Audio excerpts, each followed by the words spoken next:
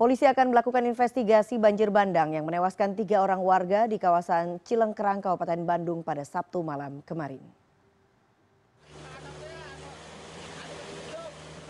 Alat berat sudah diturunkan pada minggu siang guna membersihkan material lumpur dan batu di lokasi banjir yang menewaskan tiga orang di Cilengkerang, Kabupaten Bandung. Nantinya tanggul yang jebol akan ditutup dengan beronjong guna menahan air sementara agar air tak mengalir ke perkampungan. Aparat gabungan TNI Polri, BPBD Kabupaten Bandung dan relawan pun masih melakukan pembersihan di lokasi dengan cara manual.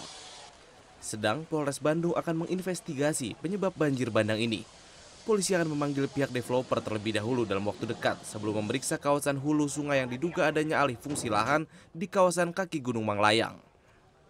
Ya, setelah nanti tahap pertama, tahap kedua selesai, kita memasuki tahap ketiga kita akan mencoba memanggil uh, developer.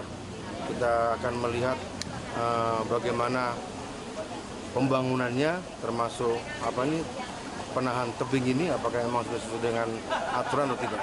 Jika ditemui pelanggaran, ada sanksinya Iya, kita ada sanksinya di situ pastinya. Nanti kami akan banyak berkoordinasi dengan pihak pemerintah daerah. Kami akan melihat ini uh, kawasan apa di sini, kemudian pembangunannya bagaimana, perizinannya bagaimana. Pasti akan kami kaitkan ke sana nantinya. Sementara itu, guna mempermudah penyaluran bantuan dan cek kesehatan, posko bantuan dan kesehatan sudah didirikan di dekat lokasi kejadian. Chandra Febriana, Kabupaten Bandung, Jawa Barat.